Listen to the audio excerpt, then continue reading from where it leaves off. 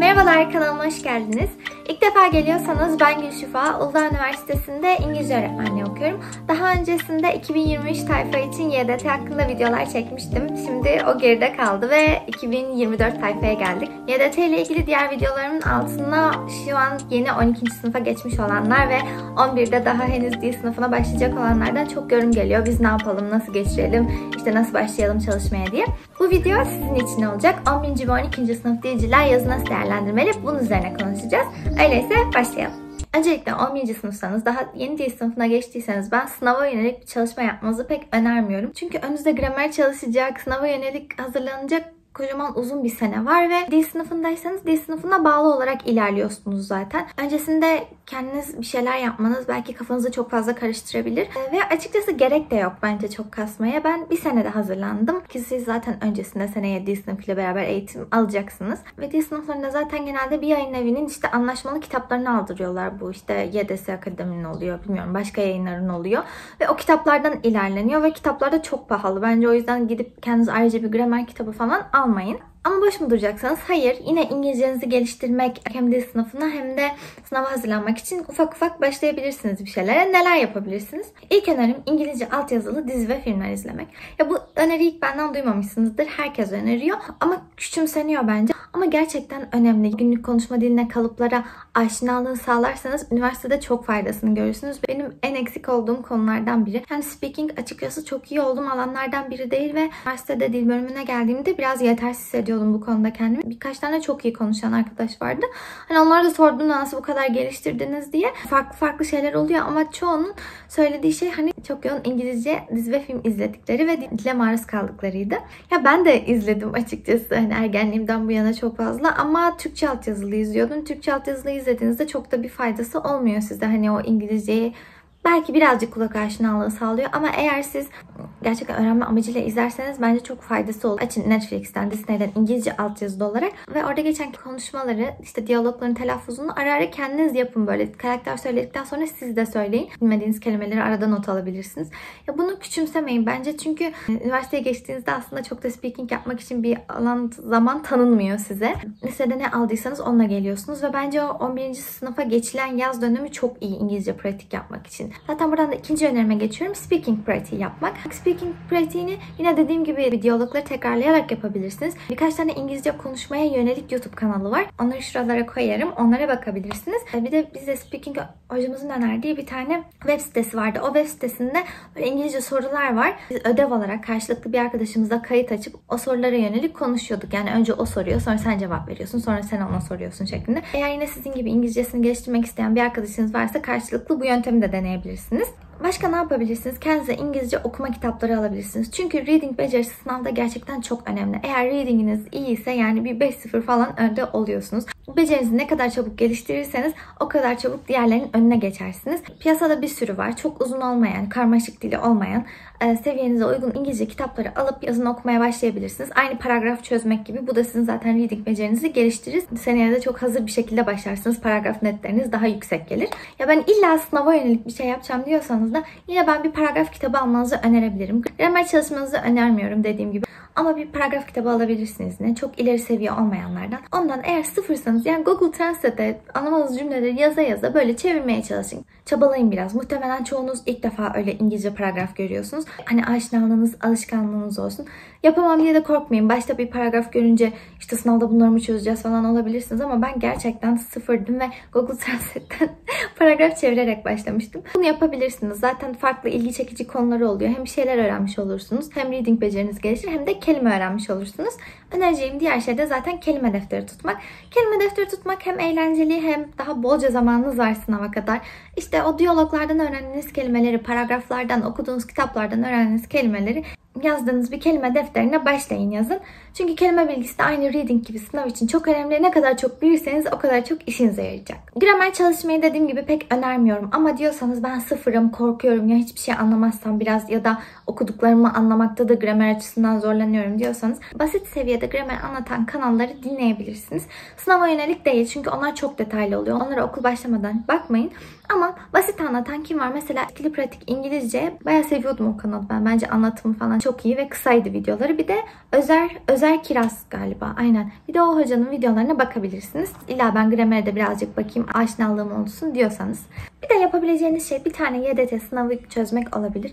Bu da hani gireceğiniz sınavı soru tiplerini görmek açısından. Yoksa hiçbir belirleyiciliği yok. Ama aa nasıl soruyorlarmış bu sınavda işte soru tipleri nelermiş, neye göre hazırlanayım diye böyle çok afallamamanız için bir tanesini çözüp kendinizi denemenizi öneririm. Ama netlerinize hiç takılmayın. Hiçbir önemi yok yani. Sıfır net yapsanız bile 2 senede çok rahat artar. 11. sınıflar için tavsiyelerim böyle. Dili sevmek, İngilizceyi sevmek ve aşinalık oluşturmak üzerine çalışın. Zaten çünkü sınav yaklaşınca gayet sınava yönelik de çalışmalar yapacaksınız. Şu anda o kadar kasmanızı önermiyorum. Gelelim 12. sınıflara. Tabii ki 12. sınıfların iş yükü çok daha fazla. Sizin başlamanız hatta okul başlayana kadar bitirseniz iyi olacak şeyler var. Ve bunlar öncelikle grammar. Burada hem dil sınıfında okuyup 12. sınıfa geçenlere hem de benim gibi son senenin yazında dile geçmeye karar veren ve kendi kendine çalışanlara önerilerim olacak. Gramerde eksiğinize göre dil sınıfı geçmişiniz varsa belki sadece bazı konularınız eksiktir. Onları bitirmeye çalışın. Eğer sıfırdan hazırlanıyorsanız da Grammar'da mutlaka sınava yönelik bir kanaldan video artı not alarak ve soru çözümü yaparak ilerleyin ve Grammar'ı yaz tatili boyunca bitirmeye çalışın. Bitirirseniz çünkü sene içinde çok rahat olursunuz. Sadece hani netlerinizi daha da arttırmaya 8 sorularına yönelirsiniz ve TYT kısmına ağırlık verirsiniz. Ben sınava yönelik kanallardan Hakkı Hoca'yı bayağı beğeniyordum. Benim zamanımda zaten tek o vardı gibi. Hiç bilmiyordum, sıfırdım. Sadece onun videolarını not alarak ve test çözerek Grammar'ı hallettim. Baya detaylı bir anlatım var. Sıfır olanlar için iyi olacaktır ama zaten gramına hakim çok fazla eksiği olmayanlar için belki detaylı gelir. Siz daha basit başka kanallardan da dinleyebilirsiniz. Ama gramını halletmeye çalışın yaz boyunca. Bunun dışında her gün mutlaka paragraf çözün. Bu çok önemli. Bunu sakın atlamayın. Gramerınız istediğiniz kadar iyi olsun. Reading becerisi sınavda çok önemli. Seviyenize göre 3 ya da 5 tane 6 tane paragraf hedefi koyun günlük kendinize. Yeni başlayanlar 3 paragrafla başlayabilir. Onlara paragrafı detaylı analiz yaparak çalışsınlar. Daha iyi olanlar da 5-6 tane paragraf çözsün. Her gün mutlaka. Reading becerisi de üzerine düştükçe gelişen, hızlanan, üzerine düşmedikçe de körelen bir şey. Buna bağlantılı olarak tabii ki yine kelime. Readinglerden çıkan kelimeleri yine kelime defterinize yazabilirsiniz. Ya da kelime defteri bana çok işkence gibi geliyordu bir senesi olan bir insan için. Quizlet'e geçirebilirsiniz kelimeleri ve kelime testi çözebilirsiniz. Ben günlük planınıza işte 4-5 tane reading ve bir tane de kelime testi eklemenizi mutlaka öneriyorum. Bir tane çözseniz yeter. Her gün bir kelime testi çözseniz yazın sonuna kadar kaç tane kelime olur yani. Başka skill soruları için günlük hedef koyabilirsiniz. Ama bu da seviyenize göre. Mesela 50 netin altındaysanız bence skill soruları için ayrıyeten çalışmayın. Önce grammar eksiklerinizi ve readinginizi geliştirmeye çalışın. Ama 50 net civarındaysanız artık biraz skill sorularına da ağırlık verebilirsiniz. Günlük olarak hangi konudan eksikseniz cümle tamamlamamı, çevirimi, paragraf tamamlamamı Onlardan günlük 4-5 soruki hedefi koyun kendinize. Yazın sonuna kadar o eksik konuda gelişmeye çalışın. Ve ben bu 8 soruları için her zaman e, soru çözüm videosu izlemeyi öneriyorum. Önceki videolarımda da önermiştim. Burada da söyleyeyim. Şuraya yazdığım kanallardan soru çözüm videolarına bakabilirsiniz. Benim netlerim o videoları izleyip orada nerelerde yanlış yaptığımı, neye dikkat etmem gerektiğini öğrendikten sonra artmıştı. Siz de deneyebilirsiniz. Yine netleriniz düşükse ve dil çalışmaya yeni başlıyorsanız, bir seneniz varsa önünüzde soru çözümü olan kaynaklar almaya çalışın. Çok işinize yarayacaktır. E, kare kodlu olanlar oluyor ya da cevabın neden olduğuna dair açıklamanın oldu. Bunlar çok işinize yarayacaktır. Hele de kendiniz çalışıyorsanız kaynak alırken buna dikkat edebilirsiniz. GDT kısmını bitirdik. Gelelim TYT'ye. 11'lere zaten pek TYT çalışmayı önermiyorum. Hani unutursunuz ve sene içinde zaten çalışabilirler. Ama 12'ler siz matematik ve Türkçeyi hallederseniz yine çok iyi olur. Sosyal biraz bence yorum sorusu, şans işi gibi oluyor. Sosyale başlamayın. Gereksiz zaman kaybı. Fen de bence sene içinde halledilebilir. Ben son 3 ayda falan e, fen çalışıp 10 net yapmıştım TYT'de fenden. O yüzden feni de birazcık sona bırakın ama Türkçe ve matematik önemli. Eğer çok iyi bir TYT net yapmak istiyorsanız hedefiniz yüksekse ya özellikle matematik bence önemli çünkü ayırıcı bir nokta. Çoğu dilci matematik yapamıyor. Eğer matematiğiniz iyiyse yapabileceğinizi düşünüyorsanız bence yazın yine matematiği toparlamak için çok iyi bir zaman. Ne çalışsanız yanınıza kar kalır. Matematikte hep diyorum hani bütün konulara çalışmayın. Konu seçerek ilerleyin. Yazın TYT matematik konuları diye oralarda böyle her sene hangi konudan kaç soru çıktığını gösteren çizelgeler oluyor. Oradan her sene soru çıkan konulardan seçin kendinize göre, seviyenize göre yani. Kimisinin zaten yapabileceği sadece 3 konu vardır ama kimisi belki yarısından fazlasını yapabilir. Ona göre konularınızı seçtikten sonra yine matematik anlatan bir kanaldan videoları izleyip not alarak ve soruları çözerek matematiği biraz toparlamaya çalışın. Yazın çok iyi bir dönem bunun için. Ve Türkçe dedim. Türkçe için ne yapabilirsiniz? Paragraf çözmeye başlayın. Reading gibi ne kadar çok paragraf çözerseniz o kadar okuma alışkanlığınız gelişir, işinize yarar. Günlük hedef koyabilirsiniz. Günlük olmasa da ya da 2-3 günde bir böyle şu kadar paragraf çözeceğim diye hedef koyun kendinize. Bir de Türkçe'de dil bilgisini bitirin. Zaten çok fazla zaman alan bir şey değil. Yine bence tam yazın bitirmeye uygun.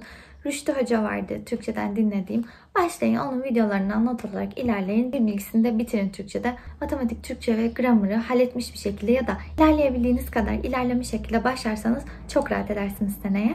Bu kadar da söyleyeceklerim yeni dilcilere, yeni sınav tayfasına. Ümitsiz olmayın. Bir senede olur mu demeyin. Evet olur. Ben 11. sınıftan 12'ye geçtiğim yaz Ağustos ayı gibi başlamıştım dil çalışmaya. Ya ben açık lisede okuyordum arkadaşlar. Öncesinde de eşit ağırlıktan girmeye karar verdiğim için birazcık ona yönelik çalışmıştım. Yani o da tam değildi ama dille ilgili hiçbir bilgim yoktu. İngilizceye dair hiçbir bilgim yoktu. Dil sınıfında okumamıştım. Bir background'ım da yoktu önceden. Hatta babamlar falan demişti emin misin hani yapabilecek misin bir senede diye. Ama ben yapmıştım sıfırdan hiçbir şey bilmezken sınavda 73 net yaptım. Bir senede hallettim ve hani gerçekten acınasıydı halim başladığında böyle şu Elsin baktım orada mı diye ama yokmuş. True Reading kitabından böyle paragrafları translate yazıp çeviriyordum. Oradan bilmediğim kelimeleri yazıyordum. Böyle bir seviyeden başladım. Hani ben yaptıysam hepiniz yaparsınız. Bir sene sınav kazanmak için en azından YDT'yi gayet iyi bir zaman. Hepinize başarılar diliyorum. Verimli çalışmalar. Sonraki videolarda görüşürüz.